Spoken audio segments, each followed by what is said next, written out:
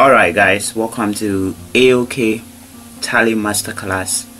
Today we want to look at how to save a report after you have recorded all your transactions, how to save a report in your folder.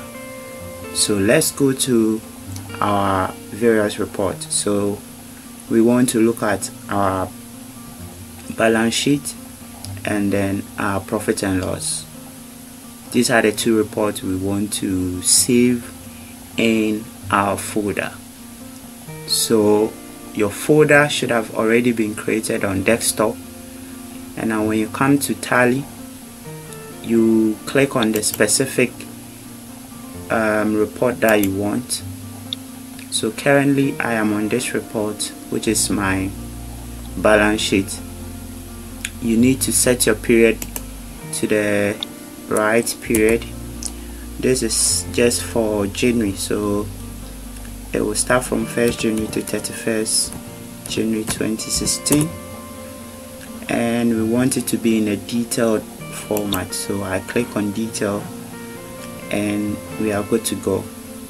Alright so now how do we save this report in a PDF format in our folder I just go to Alt P to print. And to be able to save it as a PDF before I go to the option yes I'll go to select printer. And then you can see we have a number of options here. Any AnyDesk printer fax HP LaserJet uh, Microsoft Print to PDF this is the option that I'm interested so I'll select this option. If you don't see that you can select the Microsoft XPS or OneNote. Okay today our focus is on the PDF so let's click on PDF and it brings this dialog box where you can set it to either portrait or landscape. Assuming we want a landscape we can do the changes here. We want a portrait so we go to ok. And now we can hit on our option to print. Okay we give it a few moments and there will be another um, pop-up that will tell us where to save this particular report now we are saving this report in a folder that is actually on desktop. So click on desktop go to your desktop items and look for the folder. I have a folder called Steven. So I'll double click on it.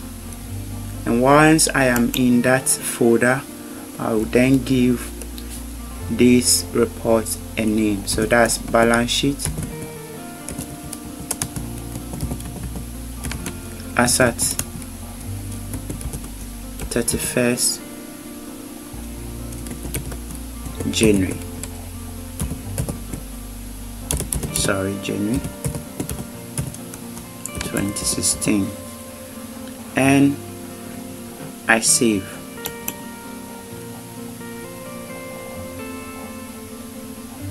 Very simple. So how do you even know this particular report that you just generated has been saved in your folder. We can minimize tally for a moment and go into Steven's folder on desktop and confirm whether this report indeed has been saved. So we minimize tally and this is the folder for Steven we open it